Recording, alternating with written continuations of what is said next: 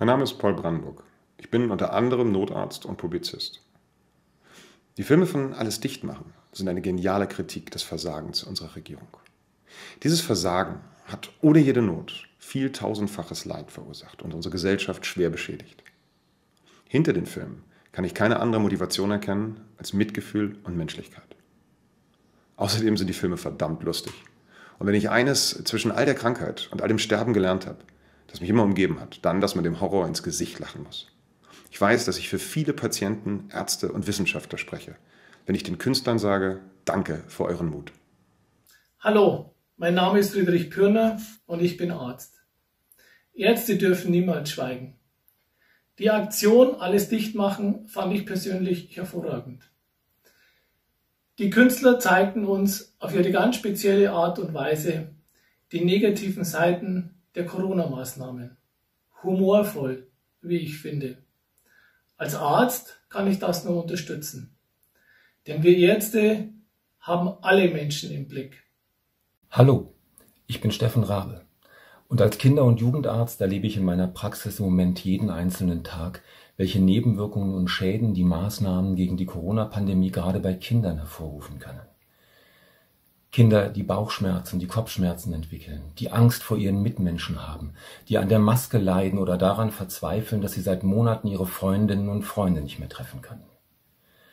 Ich bin den Schauspielerinnen und Schauspielern der Aktion Alles dicht machen sehr, sehr dankbar, dass sie hier auf ihre ganz eigene Art und Weise dafür sorgen, dass diese Nebenwirkungen, diese Schäden, die die Maßnahmen auslösen, nicht in Vergessenheit geraten und erkläre mich als Arzt ausdrücklich solidarisch mit dieser Aktion.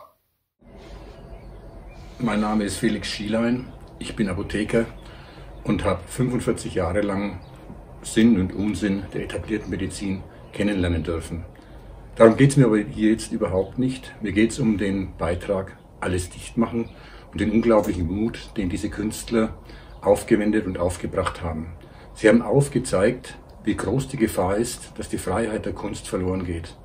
Die Freiheit der Kunst und die Freiheit der Künstler ist aber ein untrügliches Zeichen für Demokratie und für die Freiheit von uns allen. Ihr habt meine ganze Hochachtung für diese Aktion und ich bin wirklich nur traurig, dass einige von euch praktisch unter massivem Druck Abbitte haben leisten müssen. Gerade denen gilt mein ganzes Mitgefühl. Bitte macht weiter so.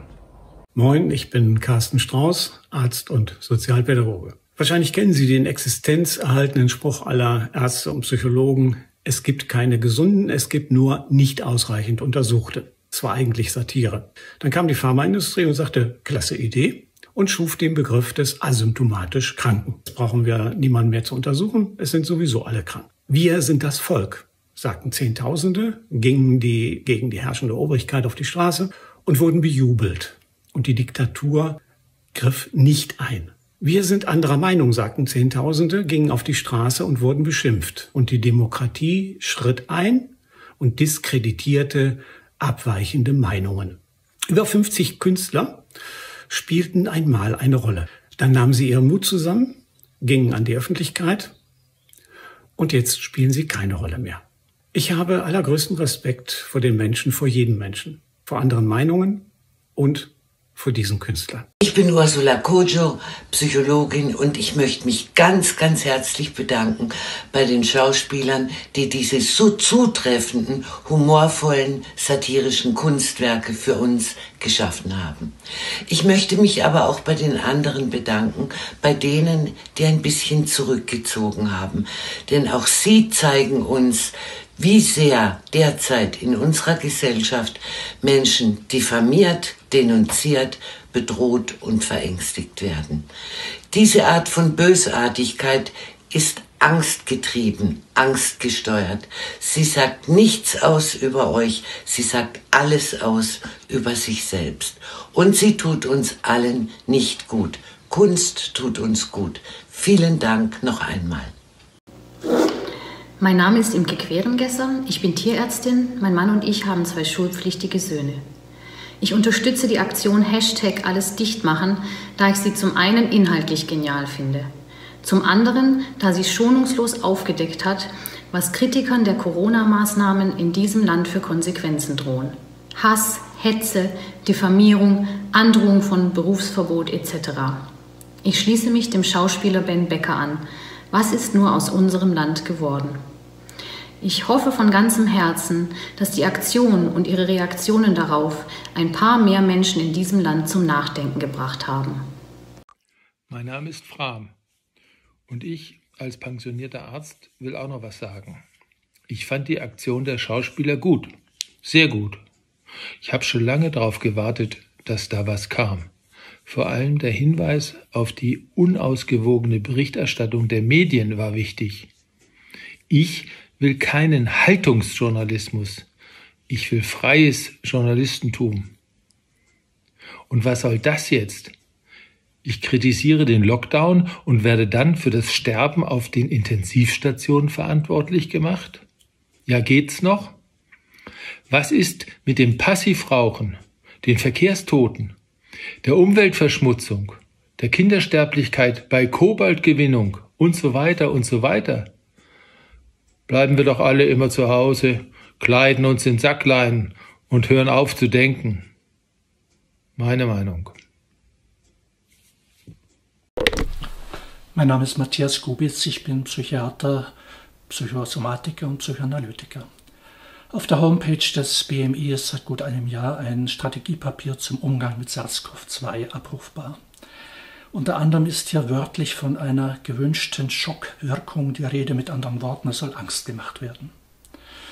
50 Kulturschaffende, die ihr Brot zu wesentlichen Teilen im Bereich der Medien verdienen, die sich nach Kräften an der Umsetzung der erwähnten Strategie der Angst beteiligen, haben sich aktuell dieser Angst gestellt. Ja, sie haben die Angst selber gestellt, indem sie diese mit den Mitteln ihrer Kunst lächerlich gemacht haben.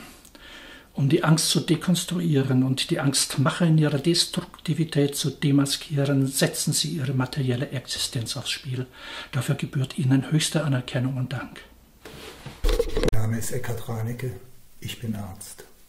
Ich danke den 50 Schauspielern für die gelungene und mutige Aktion Alles dicht machen. Die Aktion zeigt Empathie mit allen Betroffenen der Corona-Krise. Wenn die Künstler dafür einen Shitstorm in den Medien ernten, dann fühle ich mich zurückversetzt in finstere Zeiten der DDR, die ich vor dem Mauerfall verließ. Wo sind wir hingekommen? Ich bin Maike Dorenberg. Ich war früher pharmazeutisch-technische Assistentin. Heute bewegen mich diese Fragen. Eine Geschichte ohne Worte, ein Lied ohne Töne, eine Welt ohne Sonne, ein Weg ohne Ziel. Weißt du, was das ist? Das sind wir ohne Schauspieler, ohne Musiker, ohne Künstler. Das sind wir ohne Satire, ohne Kreativität, ohne Kultur. Das sind wir ohne Nähe, ohne Umarmungen, ohne Menschlichkeit. Vielen Dank an die Künstler von Alles dicht machen. Vielen Dank für eure Worte und für euren Mut. Mein Name ist Wiltrud Kling. Ich bin Fachärztin für Allgemeinmedizin in eigener Praxis. Dort sehe ich viele Menschen, die unter den aktuellen Corona-Maßnahmen leiden. Kinder, Jugendliche, Erwachsene, vor allem Eltern und alte Menschen. Die Corona-Erkrankung spielt nur eine Nebenrolle. Ich bin froh, dass die Schauspieler sich gemeldet haben und hoffe nun auf eine offene und ehrliche Diskussion der Maßnahmen und der Berücksichtigung der Fakten. Mein Name ist Annette Müller. Ich bin Frauenarzt, Mutter und Großmutter. Nun, meine lieben Schauspieler, da habt ihr euch ja ein Ding geleistet. Mut, Provokation, Meinungsfreiheit. Wie bekommen wir das wieder auf eine gerade Linie? Das wird schwer. Vereinbart bitte dringend einen Arzttermin. Ich unterstütze euch. Okay. Hallo, mein Name ist Sylvia Müller, ich bin Ärztin. Ich bedanke mich bei den Schauspielerinnen, die auf herrlich ironische Weise die Absurdität der Corona-Maßnahmen dargestellt haben. Wir Ärzte sollten auch etwas tun. Lassen Sie uns diese absurde Maßnahmen beenden, indem wir aufhören, Gesunde durch Tests zu Kranken zu machen. Dankeschön. Mein Name ist Thomas Kühlken. Ich bin Arzt und grüße die Künstler der Initiative Alles dicht machen. Aus den treffenden Bildern eurer bitteren Ironie spricht die Empörung über das unerträgliche Unrecht, das uns alle beherrscht.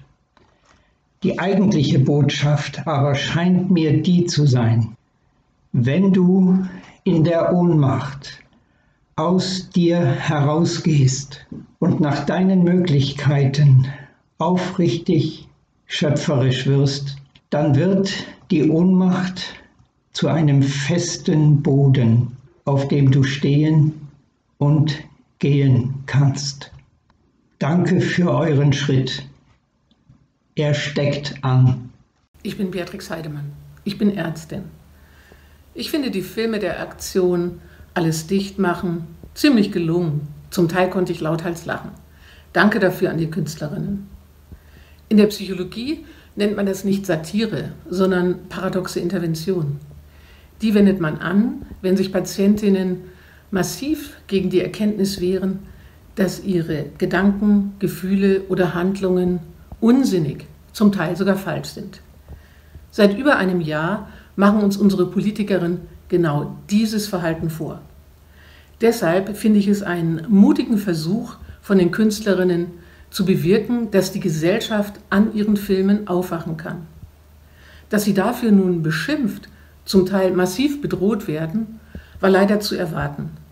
Für mich ist es ein weiterer Beweis dafür, wie schlecht es in der Bundesrepublik Deutschland mit der Meinungsfreiheit bestellt ist.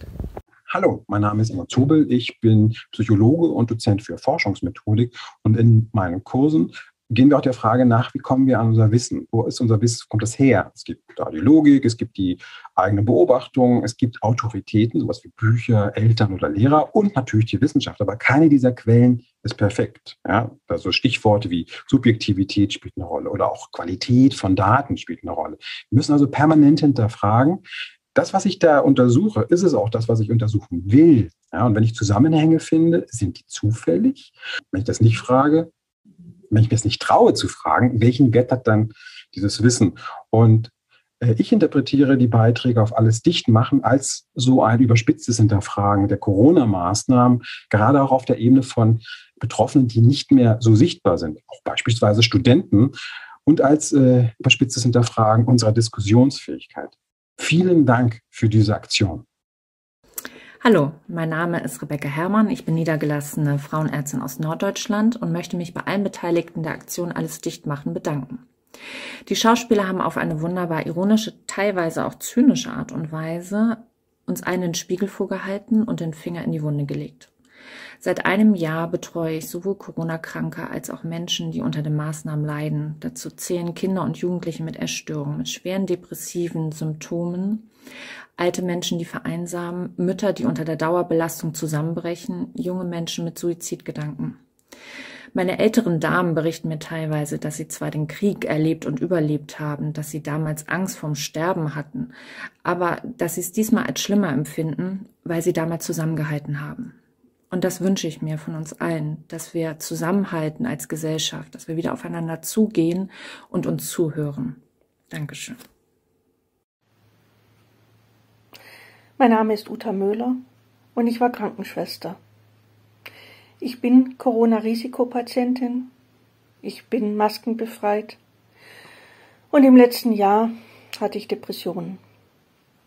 Ich möchte mich ganz recht herzlich bei den Schauspielerinnen und Schauspielern und dem ganzen Filmteam von Alles Dichtmachen bedanken, weil ihr durch eure freche, satirische Art einfach Abstand zwischen mir und dem Drama gegeben habt.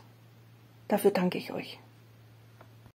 Servus, mein Name ist Ronny Weikel, ich bin Arzt und Mitinitiator des Vereins MWGFD, Mediziner und Wissenschaftler für Gesundheit, Freiheit und Demokratie, das sich bereits vor einem Jahr gegründet hat in der Kritik an den völlig überzogenen Maßnahmen und Einschränkungen im Zusammenhang mit der sogenannten Corona-Krise.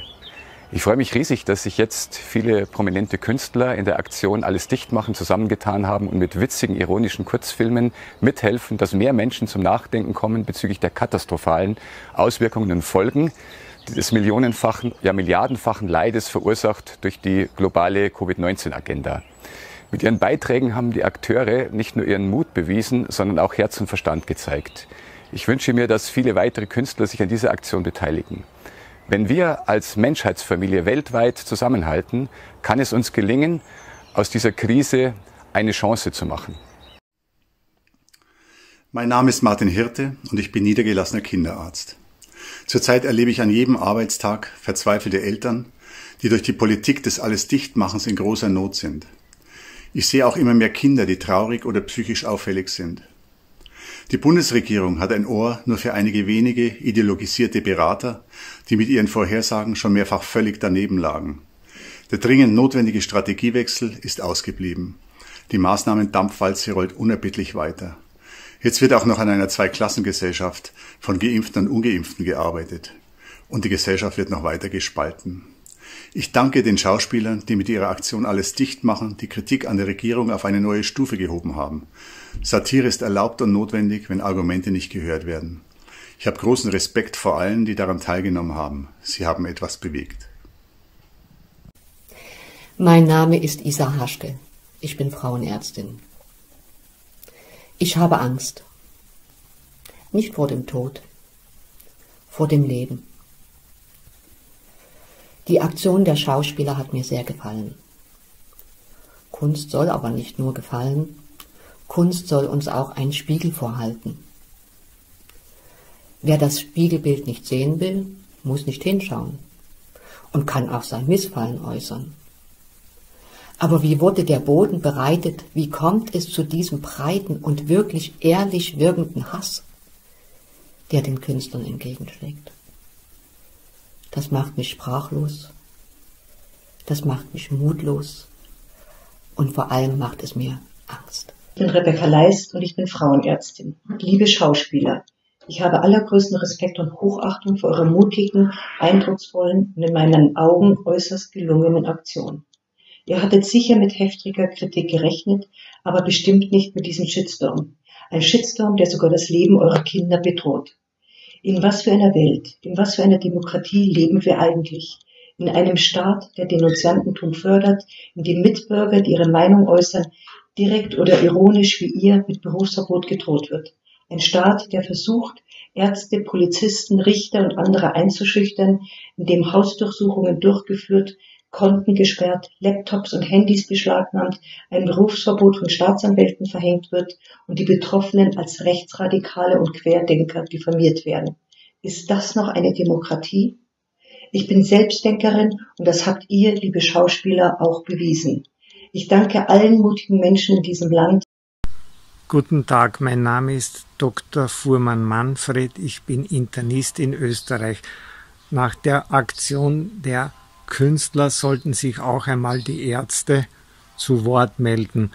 Ich fand diese ganzen Maßnahmen von Anfang an unsinnig und evidenzbefreit und war von Anfang an dagegen. Mein Name ist Claudia Schöne mit OE.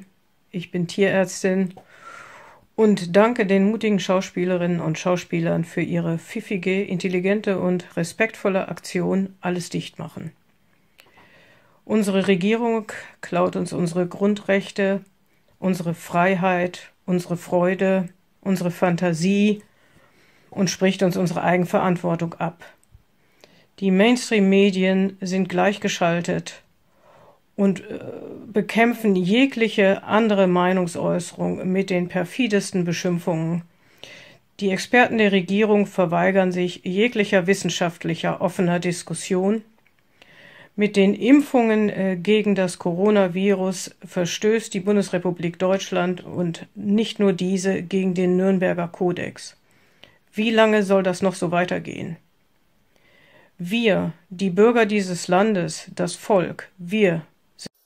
Mein Name ist Ingrid Heimke. Ich bin niedergelassene Kinder- und Jugendärztin. Seit Anfang dieses Jahres suchen mich zunehmend Familien auf, deren Kinder unter psychischen Erkrankungen leiden. Ich sehe unter anderem Depressionen, Essstörungen und Schulängste. Diese Krankheiten gab es immer, aber noch nie in meiner ärztlichen Tätigkeit habe ich so viele Kinder in einem so kurzen Zeitraum unter diesen schweren Krankheitsbildern leiden sehen. Die Künstler von Alles dicht machen haben den Menschen eine Stimme gegeben, die momentan zu wenig gehört werden. Dafür möchte ich mich herzlich bedanken und meinen tiefen Respekt aussprechen. Es ist nun Aufgabe der Gesellschaft, nach einer Lösung zu suchen, wie Infektionsschutz, Wahrung der seelischen Gesundheit und Achtung der Grundrechte gelebt werden können. Ich heiße Susanne Neumann und bin Internistin und ich finde die Künstleraktion prinzipiell sehr gut, weil sie jedem vor Augen führt, wie schwierig es mittlerweile ist, offen Kritik an der Politik und ihren Maßnahmen zu üben.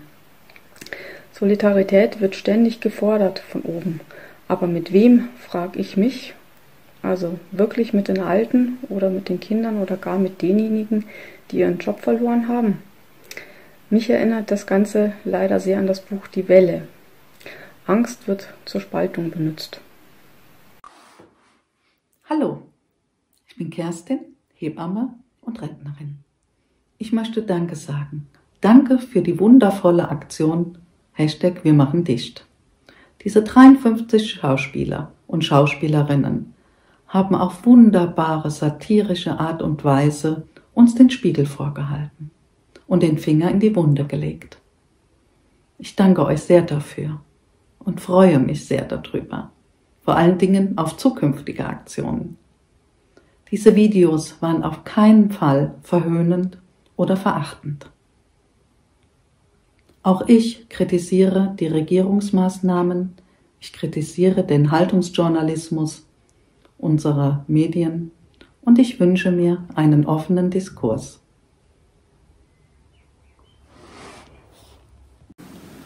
Hallo, mein Name ist Jens Rösler, ich bin physiotherapeutischer Heilpraktiker in einer Praxis in Leipzig. Ich unterstütze die Schauspieler bei ihrer Videobotschaft an die Politik und an die Medien und finde es gut, dass sie den Mut dazu haben, sich öffentlich zu äußern. Ich selber erlebe in meiner Praxis, dass die älteren Menschen immer mehr vereinsamen und froh sind, wenn wir zweimal die Woche für 30 Minuten mit ihnen während der Arbeitszeit reden und, wie wir Sachsen sagen, Lust sind. Wir brauchen viel mehr Humor in unserem Leben. Lachen hält gesund. Darum macht weiter so und bleibt schön lustig. Hallo, mein Name ist Heike. Ich bin Physiotherapeutin und Osteopathin. Vor kurzem hat unser Bundespräsident und die Regierung den Menschen gedacht, die an oder auch mit Corona verstorben sind. Das ist wichtig und auch richtig. Ich möchte heute den Menschen gedenken, die an den Kollateralschäden verstorben sind oder auch noch immer daran leiden. Besondere die, die Kinder, die Alten und Schwachen und die Menschen, die krank sind in unserer Gesellschaft. Ich habe das Gefühl, seitdem es Corona gibt, gibt es eine Zweiklassengesellschaft, was Leid und auch Tod angeht. Ich danke den Schauspielern von Alles dicht machen für ihren Mut und für ihr künstlerisches Talent, auf die Missstände hinzuweisen und finde es einfach großartig, wie sie den Mut bewiesen haben, das in die Öffentlichkeit zu bringen. Hallo, liebe Schauspielerinnen und liebe Schauspieler. Mein Name ist Gutu Bethke. Ich bin medizinisch-technische Laborassistentin und ich möchte Danke sagen. Danke für euren Mut. Danke, dass ihr mich zum Lachen gebracht habt. Danke für eure Aktion Alles dicht machen. Sie ist für mich ein Licht in der Dunkelheit. Und bleiben Sie gesund. Guten Tag. Mein Name ist Günter Seidler. Ich bin Nervenarzt, Psychoanalytiker, Psychosomatiker und Psychotraumatologe. Ich habe die Psychotraumatologie in Deutschland maßgeblich mit aufgebaut. In der Psychotraumatologie geht es um Gewalt und Gewaltfolgestörungen. Gegenwärtig sehen wir völlig neue Formen von Gewalt, die im Gewande des Guten einherkommt und beansprucht, für das Wohl des Menschen und für deren Gesundheit da zu sein. In Wirklichkeit verursacht sie eine Unmenge an Schaden und Schädigungen. Ich danke den Schauspielerinnen und Schauspielern dafür, dass sie versucht haben, mit ihren Möglichkeiten darauf aufmerksam zu machen. Vielen Dank.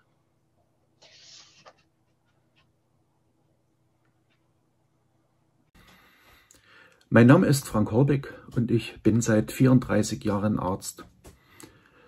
Ich finde diese Aktion richtig klasse und mutig. Nicht so sehr wegen des künstlerischen Wertes, sondern weil sie aufzeigte, was danach kam, wie ein Mob funktioniert, wie Framing funktioniert, wie Menschen, die in ihrer Profession Kritik ironisch einpackten, geteert und gefedert wurden.